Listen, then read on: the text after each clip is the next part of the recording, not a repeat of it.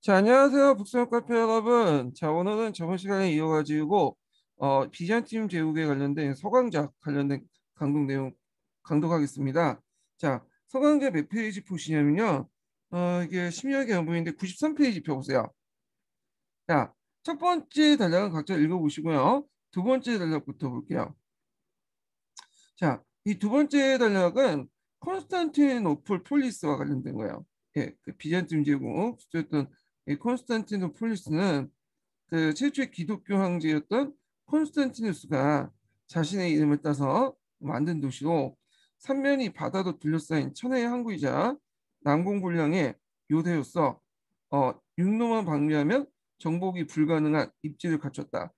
게다가 흑해나 지중해, 유럽과 아시아를 이어주기에 사업 중심지에로서도 더할 나이가 없는 요지였다. 그래서 콘스탄티누스가 333, 330년에 이 도시를 제국의 수도 삼은 이래로 콘스탄티노폴리스라고 불렸지만 어, 고대부터 그 지역이 지명이었던 비잔티움도 같이 이름도 함께 사용했다. 자, 이 비잔티움이라는 도시는 어, 예전에 이제 그리스 식민 도시 있죠. 예. 그리스 식민 도시와 관련된 내용인데요.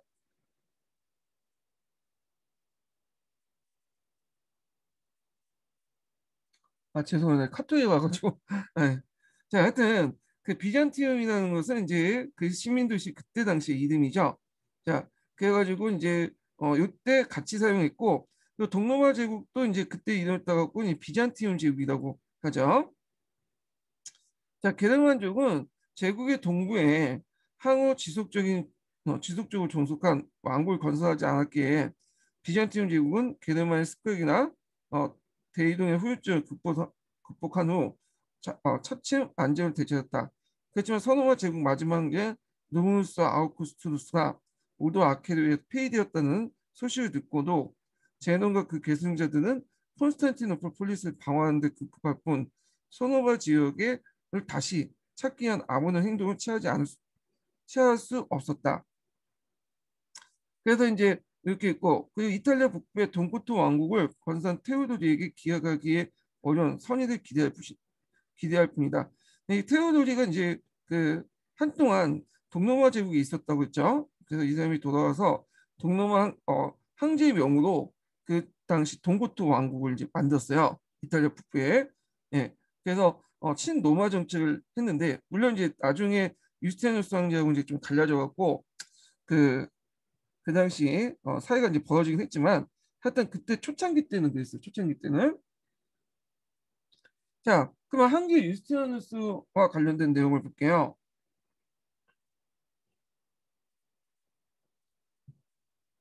자, 서강제가 서계보다 유스티아누스 황제 관련된 내용이 많아요.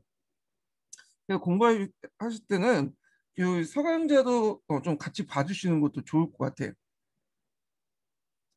자, 527년에 어, 유스티누스 황제가 제국의 통치를 맡게 되면서 비잔티움 제국의 재건을 위한 본격적인 조치가 어, 이루어졌으며 과거의 영광을 되찾는 하다.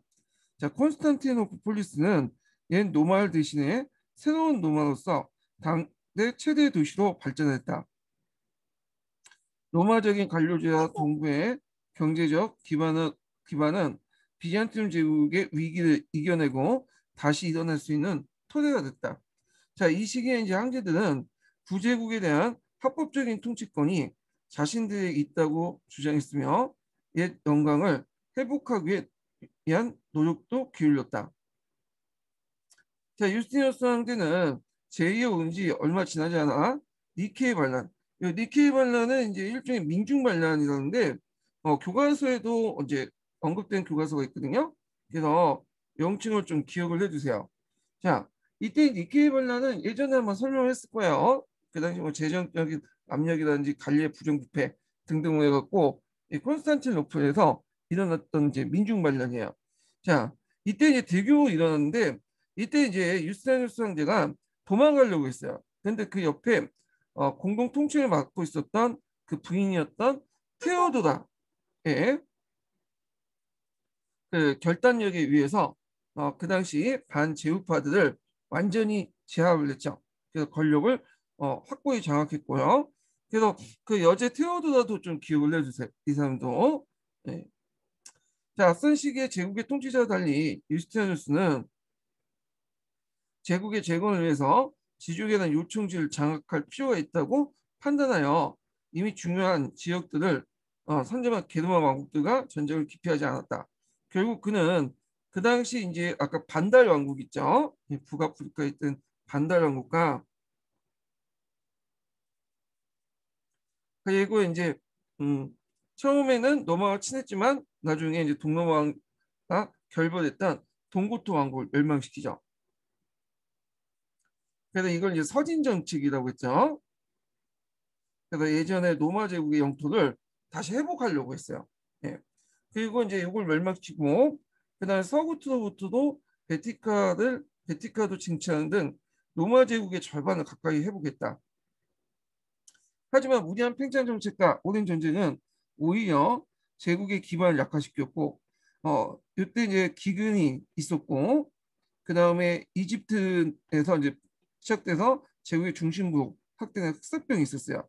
그래서 그 당시 콘스탄티노폴리스가 인구의 약 40%가 사망했다고 어, 이렇게 되었는데 자 이때 이제 또 7세 말기에는 아바르족이나 사선족 페르시아 같이 제국 위협하지, 위협하자 그 당시 서부로부터 팽창 정책을 포기할 수밖에 없었으니 어, 애써 획득한 제국 영토 대부분 상실했다. 그러니까 이제 그 사람 때 상실한 것도 있겠지만 그 후에도 이제 계속 하나하나 야금씩 어, 뭐냐면 그 상실됐죠. 그때 그 유스티누스 대제가 마련했던 용토가 하나 떨어져 나갔다 이렇게 보시면 돼요. 자, 그다음 유스티누스 황제는 이렇게 활발한 정복 사업을 또 어, 했지만 또 한편으로는 또 노마법도 정비했어요.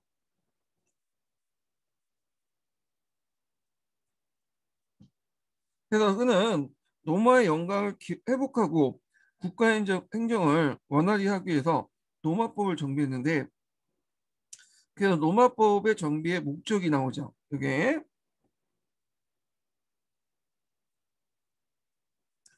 자 노마법이 오랜 기간 거쳐 발전하면서 일관된 체제를 상실했기 때문이다. 자 이게 무슨 말이냐면 이 노마법이라는 자체가 다양한 법원으로 구성되어 있어요. 그래서 법원으로 구성돼서 이 법원이 뭐냐 어, 여러 가지 이제 뭐냐면 법적인 경, 그 구성들 많은 거죠. 그래가지고 뭐 황제의 칙령으로 구성됐고 또뭐 원론에 통과된 것도 있겠죠. 원론의 조언, 그다음 판례, 그다음 민회의 어떤 통과된 법률 등등등 그 법무관이 또 공포한 행정명령 등등을 해갖고 여러 가지 했어. 근데 이제 시간이 지나면서 이것들이 이제 서로 충돌이 일어나. 예, A에서는 이렇게 많은데 B에서는 이렇게 많으시고 그러다 보니까 어, 이게 복잡해지고 상당히 모순적인 것들이 많아져요. 법과 법 사이에. 그래서 이걸 좀 약간 일관되고 좀 약간 어, 형태도 좀 정리할 필요 있겠죠. 자, 그래서 이제 이런 식으로 해서 어, 정리한 것이 그 노마법 대전이다. 이런 것도 좀 기억을 해두시면 돼요. 자, 그래서 이제 이렇게 일관된 체제를 상실했기 때문에 하나의 체제로 만들기 위해서 만학자들을 동원해서 어, 그 당시 이제 노마법 대전이 사, 네 권으로 크게 구성됐다고 했죠. 학설 신찬, 그 다음에 그 법학 제요, 그 다음에 칩법집, 뭐 신치법 이런 것들 구성이 있다는 거. 뭐 어렵게 나오면 이 정도 나올 수 있겠네요. 예, 요거. 자, 하여튼 어, 이게 후대에 이제 시민법 대전이라는 이름으로 어, 묶어서 간행이 됐다. 그래서 이거는 나티너어로 사용했다. 나티너. 그래서 서계에 있는 내용들을 한번 좀 연상을 해보시면 유스티아누스 황제 때가 마지막 나티너를 사용했던데요. 그래서 이때 이제 나티를 만들었고요. 어 그리고 나서 나중에 이제 어, 그리스어로 바뀌죠. 예, 그리스어로. 자 나티너 버튼은 제국이 그리스하면서 당대 큰 호전성을 갖지 못했지만 그 법이 진의 합리적 성격 때문에 서양법 12세기 이래로 서양법에 큰 영향을 기여했다. 그래서 이제 어, 로마법이 그 당시 중세 유럽에 큰 영향을 줘요. 12세기 이후부터는 예전에는 게르만법, 뭐 시제법 이런 것들이 주였잖아요. 예. 이제는 노마법을 옮기게 돼요. 중세 후기 때 들어가면. 자, 이거는 어, 좀 이따 이제 좀 더 얘기를 하고, 하기로 하고요. 자, 그다음 동방의 적대 세력이 제국을 위협하고 이슬람이 무서운 속도로 팽창하는 와중에 비잔틴 제국이 정체성을 유지하며 발전될 수 있었던 기반은 로마의 국가제도, 그리스 문화, 그리고 기독교 신앙이었다.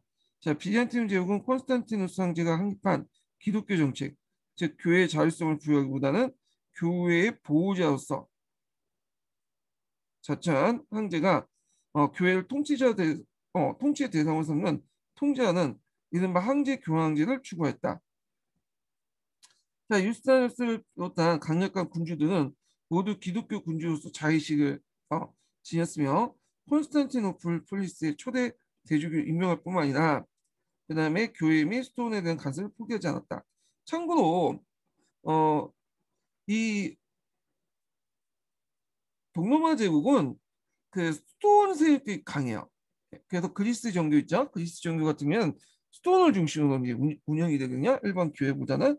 그런데 이제 카톨릭은 상대적으로 스톤보다 일반 교회를 중심으로 운영이 돼요. 그래서 이게 그리스 정교하고 카톨릭과 좀 다른 점인데 이런 점은 이제 서양에서 강의에 있어요. 그 내용이. 예. 자 일단 계속 읽어볼게요. 자 한계권과 교권이 분리되어 발전한 서방과 전혀 다른 정통이 형성되었다. 자 그래서 이제 어, 교권과 황제권 이렇게 분리되어 있는데 어, 서방에서는 동방에서는 합일되었죠. 그래서 일치 재정일치적 성격을 갖고 있죠. 그래서 황제의 권위를 인정하는 차원을 넘어 숭배의 대성권을 높이는 문화는 동방적 전체군주의 정통과 맞닿아, 맞닿아 있다. 자, 기독교가 절대적인 통치권력을 정당화시켜주는 기능을 수행한 것이다. 그 다음에 로마 제국이 정통 계승의 측면에서 관료 제도가 이제 자리 잡고 있는데 제국의 행정과 통치에는 관료 체제가 필요했으며 교육을 통해 배출한 관료들을 경제와 종교 등 다양한 영역에서 활용했다. 자, 농업은 물론 대외경제 발전에 따라 제국은 상공을 정리했고 제국은 상공을 정리했고 교육에 필요한 집안 여건, 여건들 즉 화폐 세금제도 법률 상고의 질서 치안 등을 정비했다. 자 여기에서 이제 어, 서계의 돈을 좀 떠다 들면 그 당시 이제 상공이나 있는 농업 같은 경우는 다 이제 국가가 통제하돼 있었어요. 통제 경제하에 음, 이런 것과 연결시켜서 좀 보시면 될 것 같아요. 자, 그 다음에 이 시기 때 제국은 페르시아와 중국 등 동양과의 무역을 큰 비중을 두었으며 각종 사치품을 수입하는 통로로 활용했다. 자, 콘스탄티노폴리스는 많은 인구와 제국의 우월한 경제력은 인구와 제국의 우월한 경제력은 세계 무역의 중심을 차지하고 있는 비잔티움 제국이 발전시켜온 경제 번영의 결과물이었다.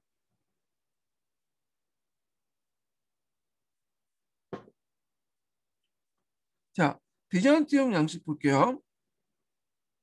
정성기의 비잔티움 제국의 영광을 가시적으로 드러내는 영역은 건축과 예술이다. 자, 이미 유스테누스 황제는 니케의 반란 때 불탄 성당, 자, 성당 자리에 하기야 솔피아 성당을 건축하고 근데 요거는 역사적 사실관계가 틀려요. 예. 요 니케의 반란 때 불탄 건 아니고 하기야 소피아, 성 소피아 성당이죠. 성 소피아 성당은 어, 콘스탄티누스 황제 때 만들어졌다가 그때 좀 뒤에 불타고 그때는 이제 어, 아예 없어졌 어, 없었다가 다시 중건한 거야. 예. 그래서 요거는 약간 좀 역사적 사실을 틀는데 하여튼 근데 여기에서 알 수 있는 것은 일단은 어, 이 사람이 처음에 소피아 성당을 만든 게 아니라 그 전에 이 콘스탄티노스 황제 때 만들어졌다라는 사실을 알수 있죠. 그리고 이제 유스타니누스 황제는 소피아 성당을 중건했다. 예, 중건했다. 그러니까 우리가 이제 경복권 같은 걸 중건한 것처럼 원래 없어졌던 것을 있었다 없어진 것을 다시 만들었다 이렇게 보시면 돼요. 그래서 그 이 성전은 그 하나님의 이제 신성과 황제의 권위를 나타낸 상징으로 자리 잡았다.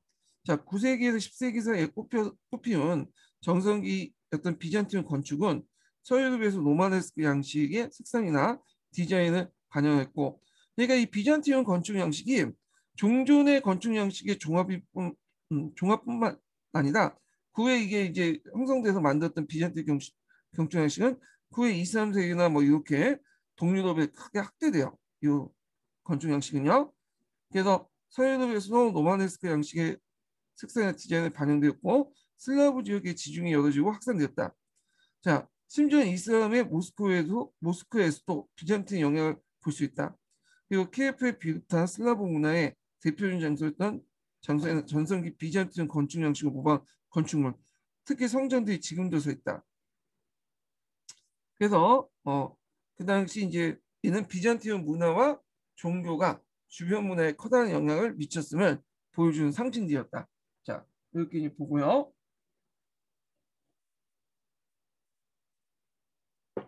자, 그 다음에 이제 뭘 보냐면 프랑스의 왕조사를 좀 볼게요. 네. 아, 서기에 넘어가죠. 서기 쪽으로 넘어가서 서기 몇 페이지 보시냐면요. 181페이지 보세요.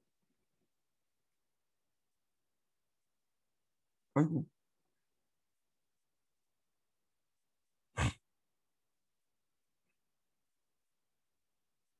네. 프랑스.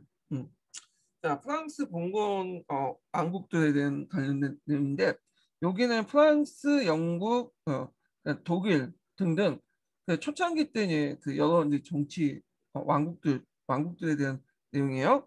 자, 어, 프랑스 같은 경우에는 이제 왕조 변천 과정을 좀 정리해 볼게요. 자, 프랑스 왕조 변천 과정은 일단은 서프랑크가 먼저 들어오죠.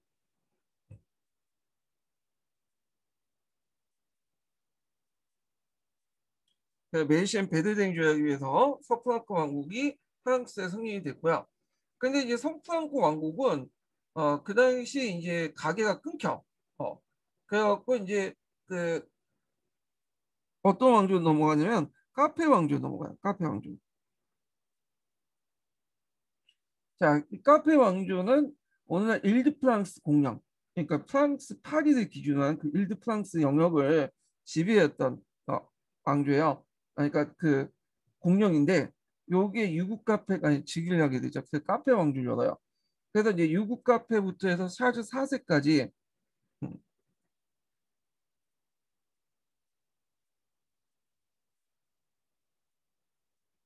있었던 왕조고요. 자, 요거 예전에 한번 시험 문제 나왔죠. 카페 왕조 관련된 데서. 어.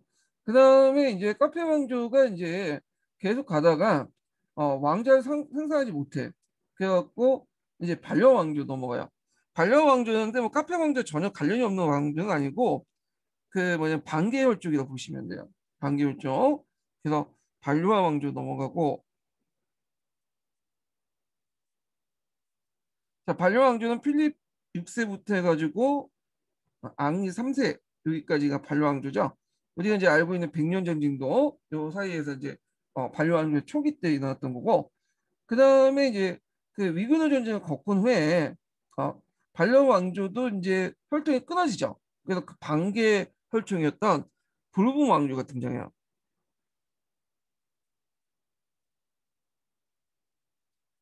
그래서 앙리 4세부터 해가지고 샤를 10세까지 음, 이렇게 이제 진행이 되죠.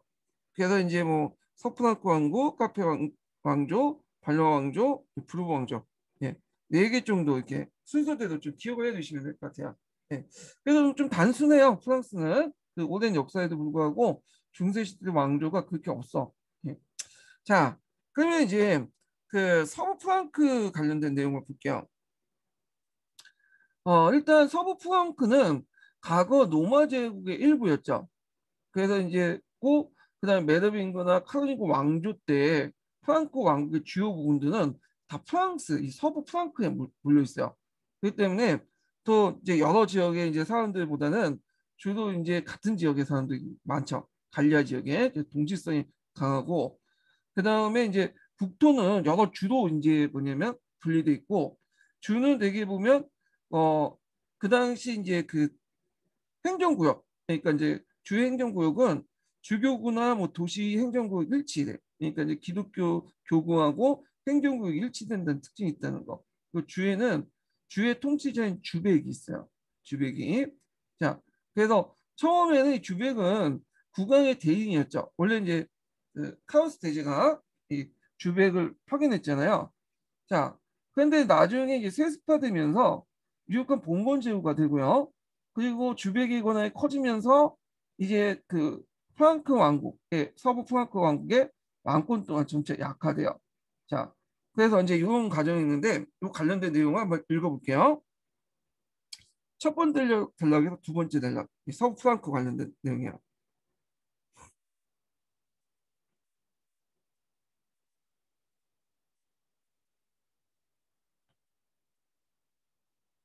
자, 서부 프랑크의 대부분 영토는 과거 노마 제국의 일부였고 웨도빙구나 두 왕국을 통해서 프랑크 왕국의 주요 부분을 이루, 이루고 있었기 때문에 서북부의 브루타뉴, 아키테 지방을 제외하고는 동질성을 갖고 있다.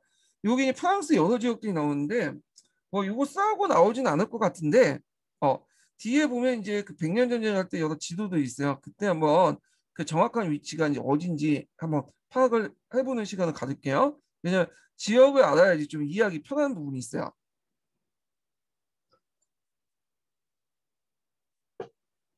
자, 국토는 주도 나눠져 있고요. 이 주라는 것은 주 교구와 일치해요. 그러니까 행정 조직이 되게 이제 보면 교구 조직과 일치한다. 교회 조직과. 어, 그 이유는 뭐냐면 일단 이 교구 조직은 예전부터 노마 시대부터 있었던 음, 도시 행정 구역이잖아요. 그리고 이제 교회가 성장하면서 교, 교회 조직을 만들 때 노마의 행정구역을 그대로 본따 가지고 만든 거야. 지금도 그렇죠. 어떤 단체 이제 조직을 만들 때 뭐 경기도 지부, 경상도 지부 이런 식으로 만들잖아요. 예. 근데 이게 이제 중세 시대에 넘어가게 된 거야.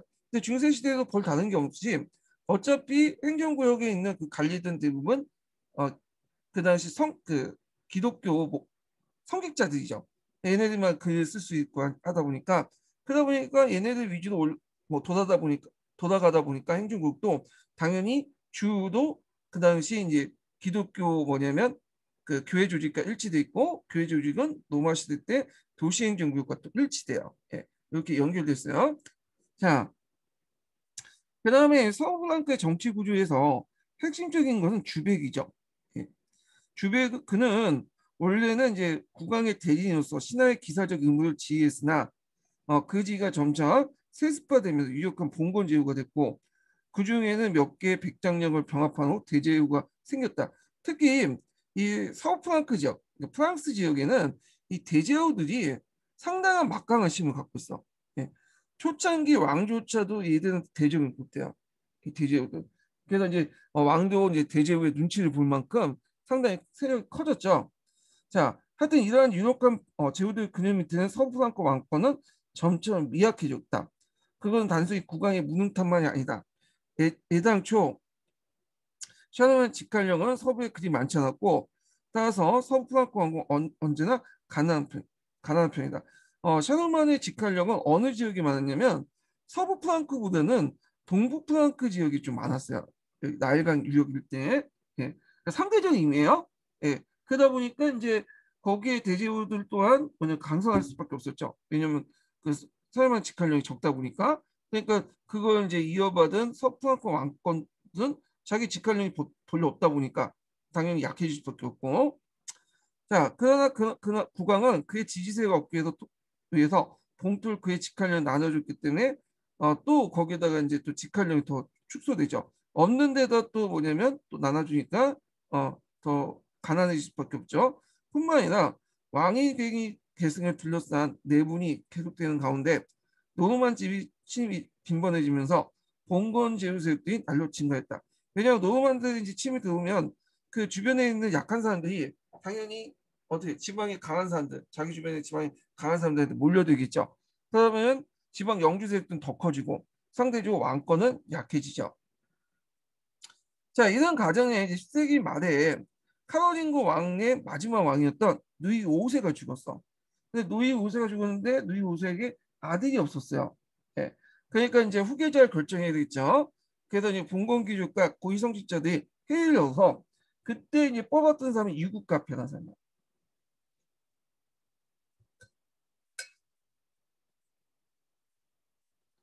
그래서 이제 새로이 국왕을 추구했는데 어, 이 유국 카페는 어, 카페 왕조의 시조죠. 이거 뭐 정확히 좀 아셔야 되겠고 자 국왕이 된 유국 카페는 그 곡 제2 중에 장자를 협력자로 지명하는 가능을 마련하여 왕이 세습할 기도했고 다행히 왕자가 끊이지 않아서 카페 왕조는 그 당시 14세기 초에 계속되었어요. 이게 상당히 힘들어. 왜냐면 우리 같은 경우에는 이제 어 일부 다처제잖아요. 일부 일처 다첩제죠. 고려나 조선 왕조나 뭐 이런 중국의 여러 왕조들은 그래서 왕비에서 아, 어, 왕자를 생산하지 못하면 그 첩에서 첩에서 는 좋은데 빈에서 왕자를 생산하면 어떻게 이 왕자가 국가도 뭐냐 왕위를 계승하게 되잖아요. 예. 근데 기독교 국가였던 이제 그 카페 왕조는 이건 다른 기독교 국가도 나 제국도 마찬가지예요. 자, 얘네들은 철저히 일부 일처제야. 그러니까 첩을 인정 안 해요 공식적으로. 예. 그러면 여자한테 좋을 것 같죠? 그건 또 아니야. 왜냐면 황식상은 어, 부인이 있어 왕비가 있지만 첩도 되게 많아요. 없는 게 아니에요. 근데 공식적으로 동양처럼 인정하지 않아. 그러면 그 밑에 첩에서 나온 아들 딸들은 얘네들은 뭘까요? 사생아죠. 예. 왜냐면 아비가 없잖아. 공식적으로. 어, 여기는 아비가 있지만 동양에서는 그 서양에서는 아비가 없어요. 아들 딸 다 뭐냐면 사생아가 되는 거야. 얘네들은요 인정받지 못해요. 그러니까 정식 부인한테 나는 아들만 인정을 받아. 예. 그런 그 경우군요. 그러다 보니까 어 이 왕들 그 왕들도 여러 이제 첩을 통해서 비공식 첩을 통해서 뭐 자식들을 막 생산하지만 이 자식들은 이제 왕이 계승이 없고요. 왕비에서만 태어난 자식들만 어 뭐냐면 그 왕위를 계승할 수가 있어. 예. 자, 그런 문제다 보니까 이제 왕위 계승이 좀 힘들겠죠. 동양보다. 그리고 왕자가 대를 끊어지면 왕조 자체가 끊어지는 거야. 그래서 다시 그 옆에 친척 그 핏줄 찾아서 반개 왕조를 이어지게 돼요. 예, 이런 구조죠. 근데 유국 카페는 다행히도 예, 이 왕자가 끊임없이 있었다는 거. 예, 이런 것들이 카페 왕조에 지속된 이유 중에 하나예요.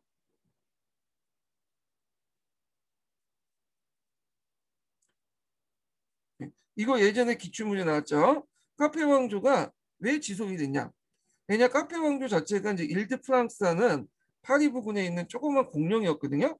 근데도 불구하고 이게 뭐냐면 계속 지속됐던 이유가 뭐냐? 이게 예전에 시험문이 나왔는데 이 뒤에는 이제 다시 얘기를 하겠지만 첫 번째는 정치적 안정을 바라는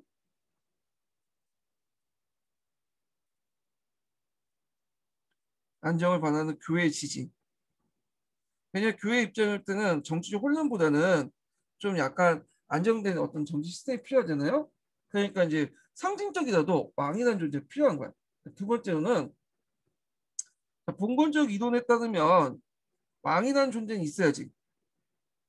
세상이 존재했던 왕이. 근데 왕이 너무 유능하면 안 돼요. 왜냐면 제후도 입장부터 유능하면 통제를 받잖아. 그러니까 이제 그 당시 그 카페 왕조 외에도 일드 프랑스 공룡인 육 카페 외에도 어, 더큰 세력도 있었어요.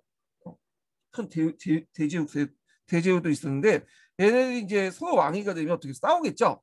그러니까 이제 서로 간에 이제 뭐냐면 어 그 싸우지 않은 상태에서 좀 더 작은 중소지였던 육갑을 세워가지고 얼굴 마담을 내세운 거야.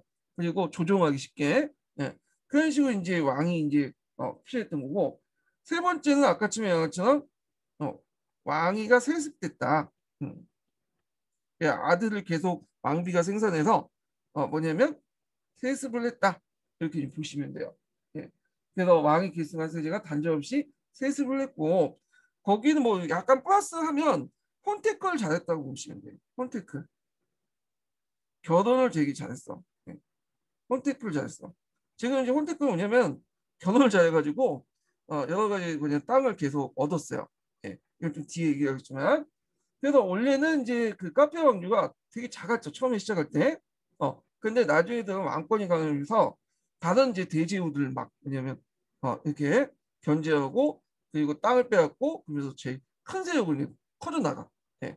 그래서 이렇게 했는데 그래서 이제 원래부터 강했기 때문에 오래 살아남, 살아남았던 게 아니라 어 원래 오랫동안 지속됐기 때문에 강해진 거야. 예. 이게 대표적인 카페 왕조인데 자 한번 읽어볼게요.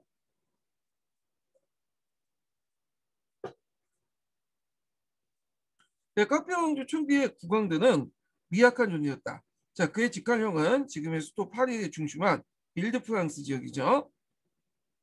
일드프랑스 공명이 없고 분화 권력에서 다른 제후, 어, 봉건 대제후보다 나을 것이었었다. 뭐, 그 당시에 이제 큰 제후도 있었는데 어, 프랑스란지, 노르망디, 브루타뉴, 앙주, 샹파뉴, 부르구뉴, 아키테, 트로즈 같은 강대한 백장력 내지 공장력을 소유한 대제후들은 거의 독립국이나 다름없었다. 그러므로 초기 카페는 이런 프랑스의 통일된 국가라기보다는 이런 대제후의 무슨 연합체에 지나지 않았고 그런 의미에서 전형적 공공국가의 모습을 보여주고 있다. 그러니까 약간 고려하고 비슷하다 보시면 돼요. 고려 초기 때 왕건이 딱 등장했지만 왕이란 왕은 이제 상징적 존재에 불과하고 실질적으로는 그 밑에 있는 호적세들이 판을 쳤죠. 그래서 고려가 이제 초기 어, 고려 초기는 이런 호적 대연합 정권의 어떤 정 그 국가였잖아요. 요거와 비슷해요. 자, 이런 상황에서 이 카페 왕조 종속했던 것은 여기 나오죠. 첫째로는 정치적 안정을 받아는 교회 학관 지지를 받았기 때문에 그래서 이제 주교나 수도원장도 하급 성직자나 교회 재산을 보호하기 위해서는 대제후의 봉건적 신화가 되지 않을 수밖에 없었고 그야 봉건적 계층제의 한 구성으로 되어 있었으나 그래도 교회 재산을 뺏긴 사례가 없지 않아 안정되고 가능한 강력한 구, 구강을 기대했다. 예. 자, 그래서 이제 있는데 이게 무슨 말이냐?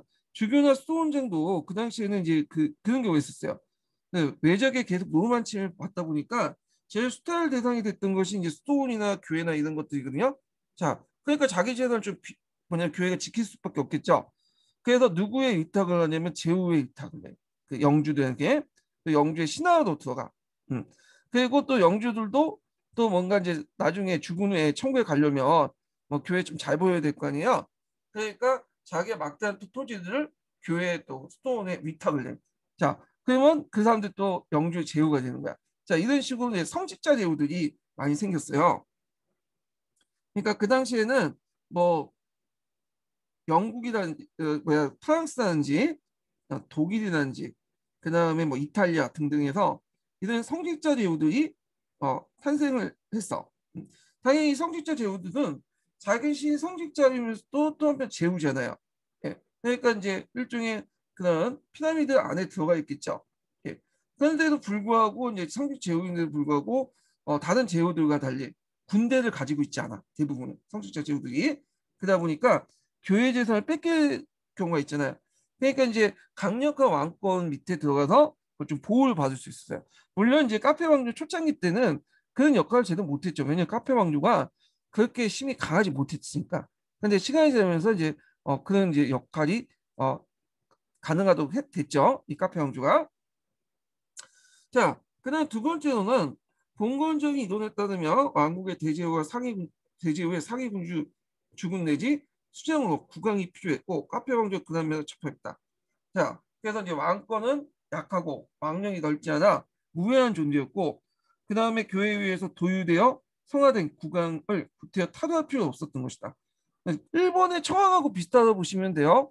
예, 일본의 청왕이 별로 힘이 없죠. 그렇지만 권위는 좀 있고 상징적인 존재잖아. 이 카페 왕조 초창기 때는 그랬어. 다른 제후, 제, 대학, 다른 제, 대제후들 입장을 때는 왕이 자기를 통제할 힘도 없고 근데 뭔가 왕이라는 존재는 필요하죠. 근데 자기들에게는 또 눈치가 보이고 그러니까 힘이 좀 없는 어, 중소 제후였던 이 카페를 유국 카페를 왕은 내세웠던 거죠. 자, 세 번째로는 어, 왕의 세습이 간행으로 인정되어 왕의 계승하세가 단절 없이 대를 이었다. 이게 또 중요하죠. 그래서 왕자를 끊임없이 생산을 했고 그리고 왕자를 생산하는 과정에서 또 수많은 또 결혼이 이루어졌고 그 결혼을 통해 혼택을 잘해가지고 또 그냥 토지를 늘려나갔죠. 예. 자, 그 다음에 이제 영국을 볼게요. 아, 영국 보기 전에 이제 서강자 관련된 내용을 좀 읽어볼게요. 예. 서강자 124페이지 펴보죠.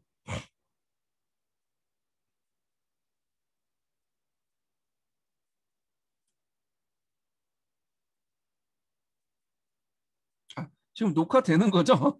아, 녹화 안 되는 줄 알고는 깜빡 당황했네. 예, 이게 잠깐만요. 음, 여기네요. 자, 프랑스의 봉건왕조 내용을 좀 읽어볼게요. 자, 그러면 프랑스의 봉건왕조를 이제 볼게요. 자, 어, 여기 이제 읽어보면 1000년에서 1300 사이에 프랑스와 잉글랜드 봉건왕조는 중앙집권적 국가로 가는 제도 장차 이데올기를 만들어가고 있었다.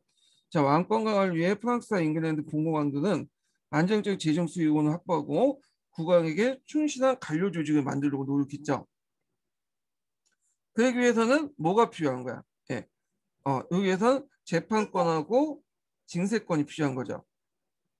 그래서 어, 지방 영주들이 가지고 있는 이런 어, 공권들, 국가 권력들을 이제 나중에는 다 해요. 예. 자, 뭐 이건 좀 이따 얘기하고.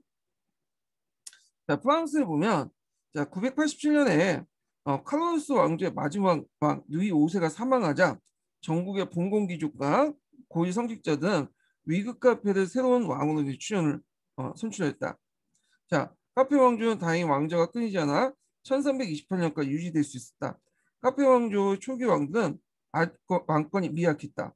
왕권은 왕의 직관력 8일 중심한 일드 프랑스 지역에 국한되었고 부하 권력에도 백장령이나 공장령을 소유한 대제후보다 나을 것이 없었다. 자 그리고 나서 이제 여러 왕들이 쭉 나오는데 이게 이제 서계 내용하고 이제 겹치 어, 뒤에 있거든요. 그리고 요거는 서계 내용 읽을 때 같이 읽을게요. 여기 일단 여기까지만 읽고 자 영국으로 넘어가죠. 영국으로 자 영국은 이제 어, 좀 보면 영국은 이제 여러 또 읽기 전에 영국의 여러 왕조들을 이제 좀 봐야 되겠죠. 근데 영국 왕조의 순서는 좀 복잡해. 그래갖고 요거는 제가 이제 서양사 심화규제 내용을 보고 이제 좀 얘기할게요. 여기다 적어놓네. 네.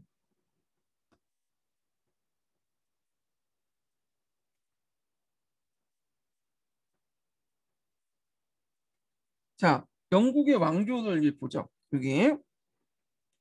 자, 여기 보면 이제 어, 앵글로색슨 칠왕국이 있어요. 엑스. 그러니까 앵글족과 색슨족이 잉글랜드하고 켈트족을 몰아내고 세운 왕조가 어, 앵글로색슨 칠왕조죠. 예. 그래갖고 이제 칠왕조에 있다가 그 당시 이 칠왕조가 누구에서 통일되냐면 알프레드 대왕에서 통일돼요. 어, 그래서 통일 앵글 섹슨 왕국이라고 이제 하고요. 어, 그 다음에 여기에서 이제 앵글 섹슨조 이게 못하네요. 섹스가 나요. 섹슨. 어. 자, 그래서 이제 이 알프레드 대왕이 통일 앵글 섹슨 왕국을 이루어지고 근데 이제 앞에서 얘기한 것처럼 그 그다음 노르웨이들이 쳐들어왔죠. 노르웨이에서 이제 뭐냐면 아, 덴마크에서 덴마크에서 그 당시 노르만족들이 쳐들어왔죠. 예. 그래서 이제 그때 어 앵글색슨과 덴마크가 통합 왕국을 만들어요. 예, 연합 왕국이. 그래서 이제 그 당시 대인족이라고 하는 어 그 당시 그 사람들이 쳐들어오면서 얘네들 대인료라는 땅을 내주고 나아가서 나중에 이제 앵글색슨 덴마크의 통합 왕국이 만들어졌다. 자, 그러다가 다시 이제 앵글색슨 왕국이 그 되고요. 네. 그러다가 이제 알프레드 대왕 계통이 이어지는다. 이어지는데 이때 이제 시비를 걸었던 사람이 이제 원리엄 1세죠. 그러면서 그 당시 이제 왕위 기승 문제도 해가지고 영국을 쳐들어와. 네. 그게 이제 유, 어, 유명한 헤이스팅스 전투죠. 좀 뒤에 얘기하겠지만. 자, 그리고 나서 이제 그 노르만 왕조가 이제 등장하고 노르만 왕조는 헨리 1세 때까지 갔지만 헨리 1세 이후에 또 왕통이 끊어져요. 그래서 그 방계 왕통이었던 또 프랑스에 있는 왕조였던 플랜태저넷 왕조가 등장하죠. 헨리 2세부터. 그래서 이제 그 당시 그 리처드 2세까지 갔다가 어 이제 또 두 개 이제 또 반개월 쪽이 싸우죠. 랭커스가와 그다음 요코가 그리고 둘이 합쳐서 투도가가 되죠. 엘리 7세부터 해서 엘리어스 1세까지 있고 그 다음에 이제 스토트 왕조 넘어가고요. 이건 스코틀랜드 왕조죠. 이렇게 그리고 이제 나서 한우 왕조 넘어가고 민족 왕국 이런 식으로 해갖고 이제 어, 지속이 됐다 이렇게 보시면 될 것 같아요. 자, 그래서 이제 이런 식으로 해서 한번 정리를 해봤어요. 영국의 왕조들을요. 자, 그러면 이제 한번 읽어볼게요. 자, 영국의 초창기 때 이제 왕조들은 잉글드 섹슨족이 세운 잉글 섹슨 왕국들과 관련된 내용이죠. 그래서 여기 이제 쭉 해서 이제 다음 달까지 이제 두 번째 어, 단락까지 좀 나와 있는데 한번 읽어볼게요. 자, 앵글 섹슨족이 어, 여러 왕국, 친왕국을 건설하고 있던 영국이 통일된 왕국으로 발전된 것은 9세기로부터 10세기까지 거쳐 개인주의 침략에 대한 저항 과정이 있었다. 자, 영국의 통일 왕국의 진정한 건설자는 웨스스의 알프드 대왕. 이 사람이 되게 유명한 사람이에요. 자, 알프드 대왕이었으며 그는 대의족과 평화 협상을 맺고 재건을 노력하며 학예 부흥에도 어, 건, 관심을 가졌다. 자, 그 후계자를 위해서 대인주의 점유율가 회복되었으며 그들의 검주지는 데일로라는 지역은 고유한 법과 어, 습속이 유지됐다. 이때 고유한 법과 이제 습속이라는 것은 노르만족들, 덴마크 계통의 노르만족들이죠. 네, 네, 습성이죠. 근데 이제 시간이 지나면서 이들도 잉글랜드화돼요. 네. 왜냐하면 되게 이 노르만 족들 한번 정착을 하면 그 문화에 그냥 조금씩 조금 파, 그 스며들었고 흡수 통합이 돼버려. 예. 이거는 어디 가나 똑같아. 자, 하여튼 앵글 섹슨족의 위탄은 점차 장원으로 조직됐으나 데일로직은 독립론이 우세였다. 자, 앵글 섹슨 왕국의 통치는 동시대의 유럽의 음, 다른 대륙의 어느 곳 보다 능률적인 조직제였다. 국왕은 원칙적으로 선거제였으나 실제로 알프도 대왕의 후계자로 한정됐다. 여기 좀 눈여겨볼 게 뭐냐면 보통 유럽 중세 시대 때는 선거제를 주도했어요. 예. 그러니까 우리가 이제 뭐 그 신성로마 황제 뽑을 때는 선거제를 하고 그 다음에 이제 영국의 국왕도 뽑을 때 선거제를 하고 보시면 그래서 세습이야 되는 것은 간혹 있지만 되게 선거제였는데 그렇다고 해서 선거제라고 해서 뭐 없는 진짜 어, 그 뭐냐 이상한 후보를 뽑는 게 아니라 대개 보면 왕의 아들을 그냥 뽑아요. 왕이 지정한 아들들. 그러니까 선거를 통해서 확인시켜 주는 거야. 확인시켜. 어 진짜 그 왕이 이상한 놈 아니면 그 왕자가 이상한 놈이 아니면 그냥 뽑아 왕이 세습 어, 시키는 거. 그러니까 세습제지만 실제 선거제도 이제 형식상 이렇게 하는 거죠. 그러니까 어, 실제 세습제지만 선거제 형태로 이제 운영이 되는데 이거는 중세 유럽의 전반적 특징이에요. 이건요. 자, 하여튼 좀 보고 음, 다시 읽을게요. 자, 왕령은 전국의 상제 산지에 있고 국왕은 지방법정에서 벌금의 일부를 징수할 수 있고 국왕의 소집에 따라 모든 성령 남자는 병역의 의무를 지고 있었다. 그리하 국왕과 왕 국왕은 왕권과 궁전을 유지할 유지할 군대와 충분한 영지를 가질 수 있었고 많지는 않더라도 정균이 합할 수도 있었다. 그 다음에 주장관을 뭐 임명하고 교체시킬 수 있는 권한도 있고요. 주교와 수도원장도 임명했다. 막강한 왕권을 갖고 있죠. 예. 그러니까 우리가 알고 있는 이제 중세하면 봉건제도 이런 것은 앵글 섹슨 왕국 때는 존재하지 않았다. 통합 왕국 때는 이렇게 이제 볼 수가 있어요. 나중에 이제 봉건제도가 이식돼 온 거야. 이건요. 자, 그 다음에 국왕의 자문기관인 동시에 국왕 선거도 실시한 위탄 게몬트 제가 발음이 좀 정확하지 않은데 음. 위탄 게몬트로 알려진 그 모임은 고위 간직자, 대지주 그리고 고위 성직자로 구성되었으며 또한 국왕은 그의 직속으로 임명을 작성하는 등 매우 능력적인 비서실을 가지고 있었다. 그래서 국왕의 통치 임무는 어, 임무의 일부만 간장하고 나머지는 주법전에 임했다. 자, 주는 원래 앵글색슨 왕국의 지방행정단이었으며 개인주의 정유지를 회복하면서 그곳 역시 군사기신 바다를 중심으로 사이어가 이제 어, 임명했다. 그러니까 이제 뭐 새로운 주를 이제 임명했다 이렇게 보시면 될 것 같아요. 그 주법전은 지방의 군사연관, 주장관 그리고 주교의 사회로 어, 주내의 자유민들이 모여서 지방의 간섭에 따라 어, 재판은 재편했는데 자 이때 이제 대인족들이 또 한 무의 대인족들이 또 영국을 침입했어요. 이때 대인족들은 앞에 있는 대인족들과 좀 달라요. 예. 왜냐하면 그 당시 노르만족들은 부족들로 구성됐기 때문에 한 개 부족이 와서 정착돼서 계약 맞고 평화롭게 산다고 해서 어 그게 끝난 게 아니야. 다른 부족도 와갖고 또 공격해. 자 그래서 하여튼 대인족의 또 일파의 또 영국에 침입했고 그 당시 이제 덴마크 왕이었던 대인족들이 이제 덴마크에서 왔죠. 카누트가 대원들을 거느리고 영국에 침입해 왕이 올렸어요. 그래갖고 이 사람 때부터 덴마크와 잉글랜드 간에 공동 왕조가 형성이 돼. 연합 왕조가 형성되죠.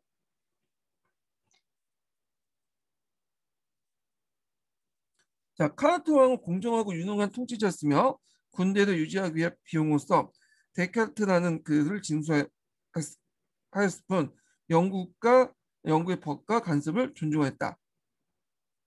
여기 데카르트는 이제 뭐냐면 군대 유지비 정도, 세금 정도 이제 파악을 하시면 될 것 같아요. 자, 카노트가 사망 후에 그의 후계자사에 또 격려한 내분이 있었어요.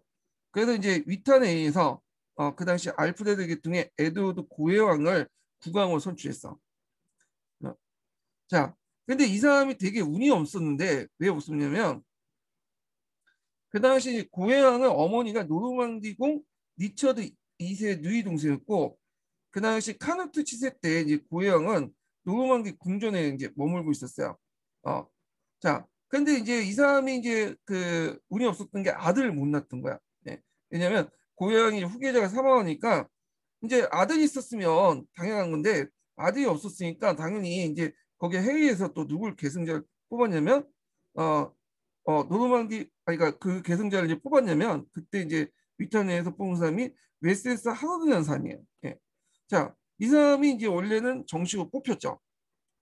근데 요구에 반대했던 사람이 누구냐면 그 노르망디야. 원리. 자, 이 노르망디 공은 그 당시 이제 혈연관계 입장 올 때는 그 외산촌 군대요. 예. 그래갖고 이제 왕위 계승주를 내섰고 결국에는 둘이 음, 에드워드 고향의 후계자라 하면서 싸우기 시작해. 예. 그래갖고 이제 싸웠는데 이 둘이 이제 결판난 전투가 뭐냐면 헤이스틴스 전투예요.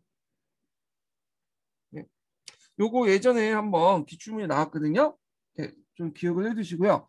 헤이스틴스 전투가 어디 있냐면 여기 이제 이렇게 있고 음, 프랑스가 있으면 영국이 있잖아요. 영국에 프랑스 제일 가까운 게 도보해협이에요. 도보해협을 건너서 약간 위로 올라간 지역이야. 여기가 이제 뭐냐면 헤이스팅스잖아.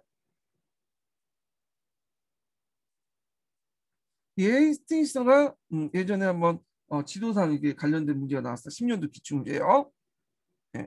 여기에서 이제 뭐냐면 웨섹스 해럴드가 어, 원료음에서 격파당하고 죽게 돼요. 여기서 그리고 나서 어, 이제 그 윌리엄이 노르만 정복을 하게 되죠. 자, 그러면 요 헤이스팅스 전투 해 갖고 이제 노르만 영국 정복을 했잖아요. 그 의미가 뭘까요? 자, 여기는 안 나와있지만 이게 상당히 영국사에서도 되게 중요한 전투이기 때문에 한번 정리를 해보면 자, 여기 아마 서총인가 거기 있을 거야. 예. 이거 전, 전투를 계기로 해서 유럽 대륙의 어떤 봉건 제도가 예전에 봉건 제도가 없었죠. 봉건 제도 이식됐어.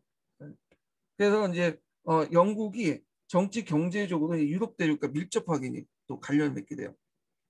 두 번째는 유럽과 밀접한 관계를 맺게 된다. 그래서 이거 좀 기억을 해두세요. 그래서 유럽 대륙의 봉건 제도가 어, 그 당시 이식됐고 유럽과 밀접한 관련을 이제 맺게 된다. 네, 두 가지 의미 있죠. 그래서 이제 영국 같은 경우에 봉건제 자생적으로 만들어진 게 아니라 그 프랑스 쪽으로 건너온 그, 노, 그 원리엄 세력들에서 어, 이식되었죠. 그래서 영국의 이제 봉건제를 이제 대륙의 이제 봉건제로 이식되면서 만들어진 봉건을 중앙집권적 봉건제라고 해요. 우리가 봉건제하면 지방 공권이라고 생각하잖아요.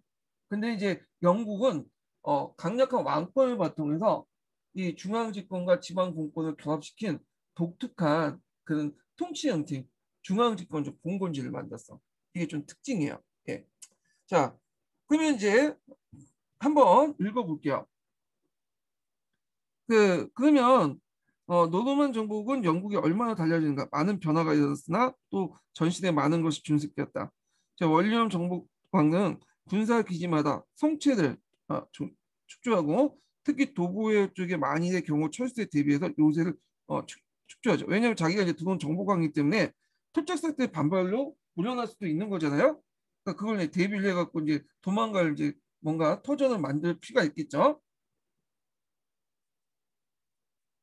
자, 그리고 북의 스코틀랜드와 서쪽의 웨일즈의 국경선에 통합된 봉투를 일관되게 신임하는 어, 봉투 어, 통합된 봉투를 일괄해서 신하는 신하들에게 수여하여 대비하겠다. 왜냐하면 북의 스코틀랜드는 이 북쪽에 스코트족이 있었고 그다음 웨일즈는 이제 쫓겨났던 켈트족 무리가 있었죠. 예. 자, 그걸 대비한 거예요. 참고로 이제 이 스코틀랜드는 예전에 켈트족이 있다가 이제 얘네 픽트족이 됐는데 이 픽트족이 스코트족하고 북쪽의 스코트하고 이제 결합이 돼갖고 융합됐어. 그래서 거기에 이제 스코트족의 나라, 스코트의 땅, 스코틀랜드라는 명칭이 생기죠.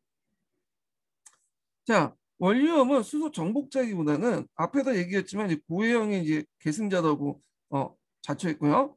그는 이제 왕령을 고수하니 자기 소유도 접수하고 무력으로 저항하지 않은 채 섹슨족의 지주들 그대로 신하로 삼고 반항한 섹슨의 토지는 몰수하여 종군한 신하들에게 분배했다. 자, 섹슨 지주의 토지들이 분산되었기 때문에 원리엄 추종자들도 여기저기 분산되었다. 자, 그 섹슨이든 노르마이든 봉토 소유자는 일정한 수익, 어, 수의 기사를 착취할 의무를 가졌으며 주교와 수도원장을 비롯한 고위성직자도 동일한 의무가 부과됐다. 대제휴 제, 제휴의 경우 그 영지가 재분봉 다른 사람 그 밑에 그러니까 밑에 이제 중소제후로 이제 나눠주는 행위, 를 재분봉이라고 하죠. 재분봉한 것은 본인에게 이름했다. 그래서 영국도 대육식 분권제도가 서서히 그 자화갔다. 그래서 원리엄은 영국 고대의 간섭을 유지하고 또한 앵글 섹슨 국왕대 법을 인정할 걸 약속했다. 그래야 주 법전도 어, 간섭법에 따라 재판하도록 존속시켰으나 주장관만은 노르만으로 대치시키고 대륙식에 따라 교회 재판권을 따로 분리시켰다. 예. 예전에는 뭐 교회 재판 분리되지 않았는데 어, 프랑스 같은 경우에는 이제 뭐 어, 교회 재판하고 그 당시 세속 재판이 분리돼 있었나 봐요. 예, 이렇게 분리시켰다고 이제 보고 있어요.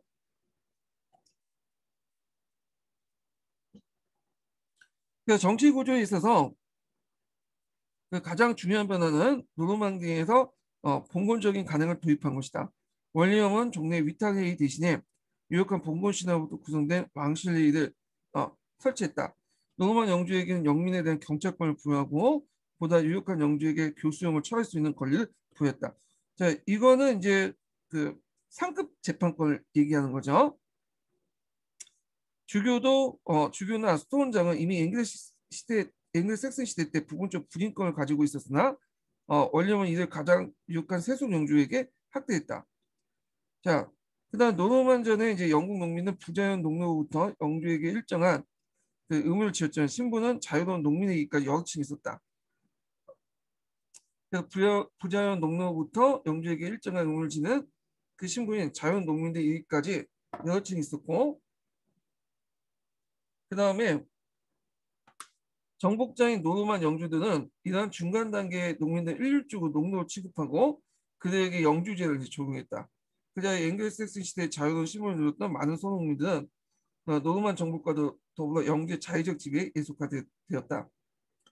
자 원리엄은 북부 프랑스에서 전역적으로 발전된 봉건 제도를 영국에 도입하면서 유럽의 어느 군주나 국왕보다 강력한 왕권을 줬고요.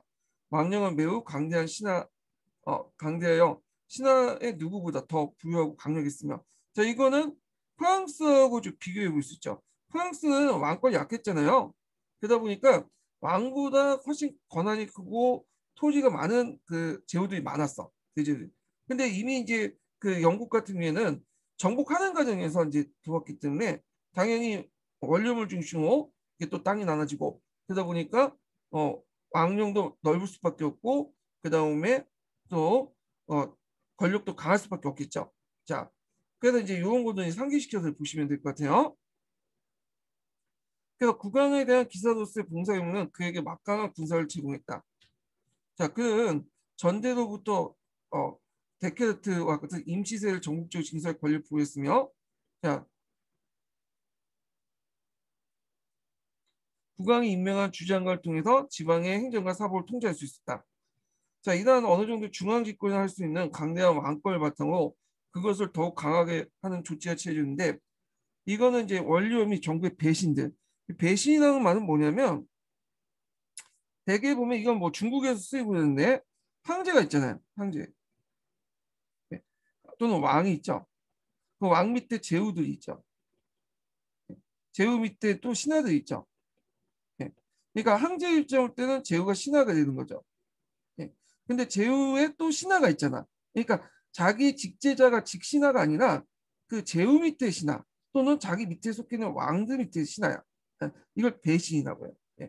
예를 들어서 예전에 조선시대 때 이제 명나라 청나라 있었잖아요. 황제 있고 명청시대 때 황제 밑에 또 신하들 있죠. 근데 또 제후국 우리나라가 있죠. 조선시대도 그 왕들 밑에 제후가 그 신하들 있죠. 요 신하들을 황제 입장을 때는 배신이라고 불러. 신하의 신하. 예, 그 의미예요. 자, 그럼 정부의 배신들 왜 소집했냐?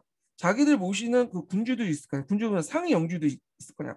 근데 상위 영주와 그다음 왕이 충돌할 경우에는 봉건계약상 어디에 우위를 둘 것이냐 이게 중요했어요.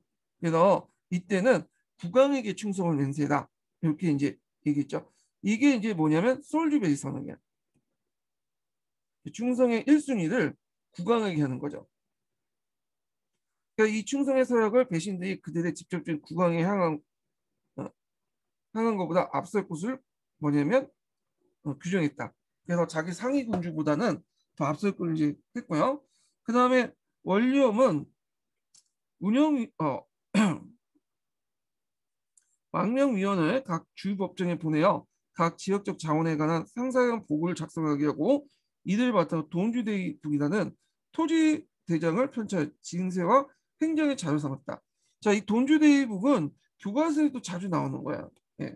그래서 요거 좀 기억을 해두셔야겠죠. 그래서 토지 대장을 편찬해서 그 징세와 행정을 중요한 자료를 담당하도록 한 것이 돈주대 돈주 돈스데이북이다 이렇게 보시면 돼요. 이 돈스데이북 돈주데이북에는 여러 내용들이 있어요. 그 안에는 이제 그, 그 당시 이제 인구나 어, 또 신분 신분에 따른 인구의 숫자 재산 현황 이런 것들 일일이 파악을 하고 있거든요. 그러면 이 돈주대북을 이제 만들었던 이유가 뭘까요? 이거는 그 당시 그만큼 왕권이 강력했다. 그러니까 프랑스시 왕 프랑스시 왕권이 아니었다 그죠? 그 미약한 왕권이 아니고 강력한 왕권이다 보니까 그 안에 있는 뭐 어, 물방앗간, 양어장, 농내 숫자, 쟁기 숫자, 가축 가축까지 다 파악할 수 있잖아. 예. 그만큼 왕권이 강해졌다는 좀 기억을 해주시면 되고요. 자, 당대 이와 같이 규모가 크고 정확한 행정 및 어, 징세 자료를 가진 군주가 없다 이렇게 보시면 돼요. 그래서 만약에 중앙 집권적 봉건제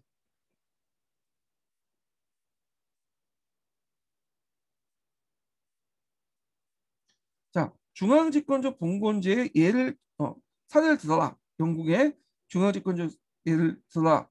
사례를 두 가지 들어가면 두 가지 드시면 답변하면 되죠. 솔주베리 선언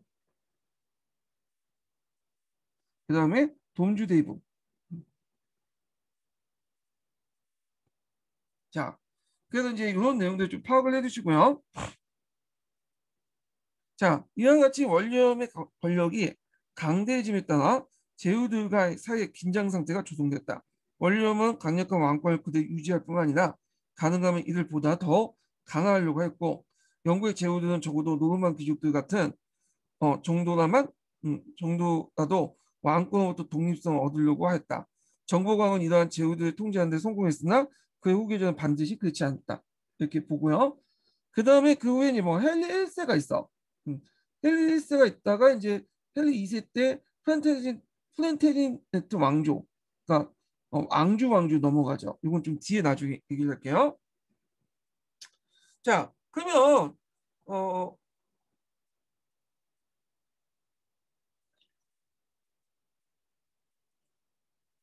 관련된 서강제 관련된 내용을 볼게요. 어, 서강제 127페이지 보세요.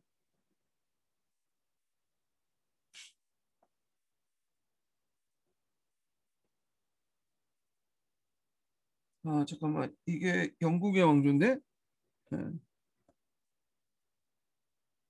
앞부분이나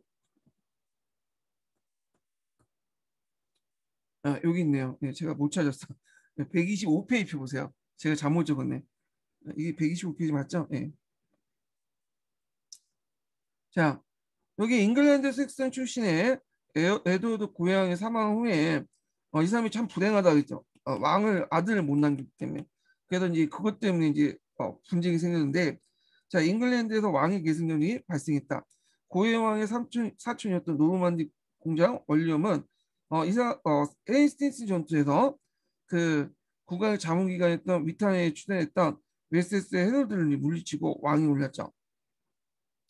자 이래서 이제 잉글랜드의 새로운 노르만 왕조가 시작됐다. 노르만디 공작이었던 윌리엄은 잉글랜드 왕이 된 사건 이후 프랑스와 잉글랜드 간의 영토 분쟁이 불씨가 되었다. 자 윌리엄은 정복자로서 강력한 왕권을 행사하고 대륙식 봉건제를 도입했다. 자 무력으로 저항하지 않는 섹슨 족 어, 지주들 신하로 받아들이고 반항한 자들 토지를 몰수해 자신의 병사들에게 분배했다. 1086년에 전국의 배신들을 솔주베리에 이제 뭐냐면 솔주베리에 국왕의 충성서약을 시키고 자 이는 배신의 주군에 향한 것보다 더 우선하도 구정했다. 그 다음에 어, 행정조지 조세를 목적으로 각 지역의 자원을 상상하게 작성하여 이들 토대로 토지대장이 어, 동주대 부분이 편찬했죠. 예. 여기까지 읽고 이제 좀 이따 나중에 석에 같이 읽을 때 또 따라서 읽을게요.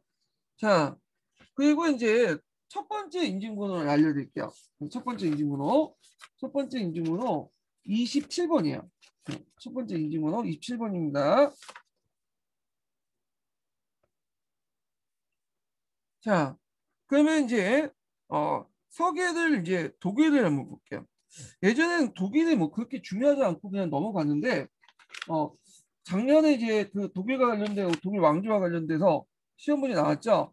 어, 그래서 매피 현장이니 뭐 이런 것들 나왔기 때문에 어, 이게 좀 이제 다시 이제 공부를 하셔야 돼. 예. 그래갖고 어, 요거는 이제 좀 어, 읽어볼게요. 자, 독일은 그 당시 동프랑크 지역 있죠.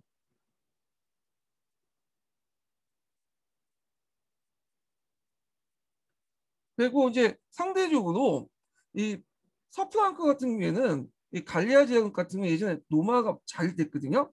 근데 여기는 노마 문화가 좀 뭐냐면 잘 이식되지 않은 지역이야. 좀 그러니까 이제 어 약간 야만적인 어 어떤 문화 이런 것도 예를 들면 게르만족의 문화가 계속 존재를 하고 있었던 거고 그리고 이제 여기는 또 부족장 세력들이 되게 컸어요.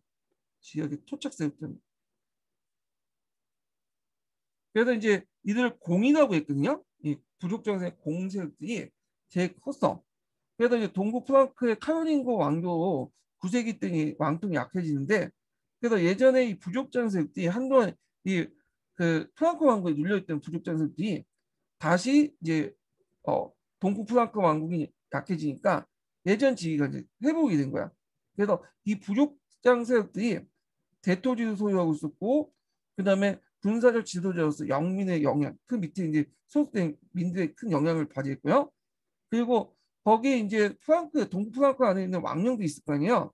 그 왕령도 잠식시키고 그 왕 밑에 이제 인용했던 어, 주백들도 복종을 시켜.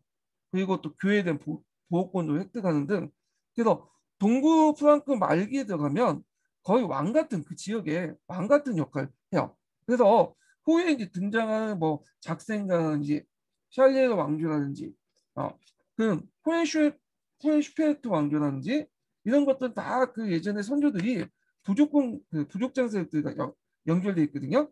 자, 뭐 이런 것들 좀 기억을 해주시고요. 자, 그러면 이제 요거는 좀 쉬어, 시간이 됐기 때문에 어, 쉬었다 좀 다시 시작할게요.